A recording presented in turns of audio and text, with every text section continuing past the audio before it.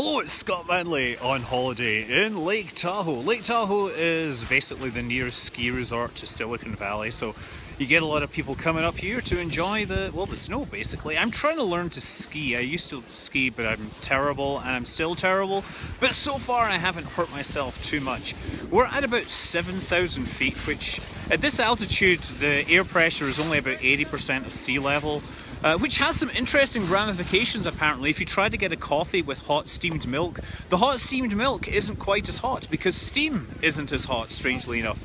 Uh, other interesting facts. Well, let's see. So Lake Tahoe is a it's a lake, obviously, and it's a it's a place that people live because it's a low point in the mountains. The lake tends to keep the air warmer. And then if you go into the mountains around it, then you get all the ski resorts. I'm at Northstar largely because they had the best conditions.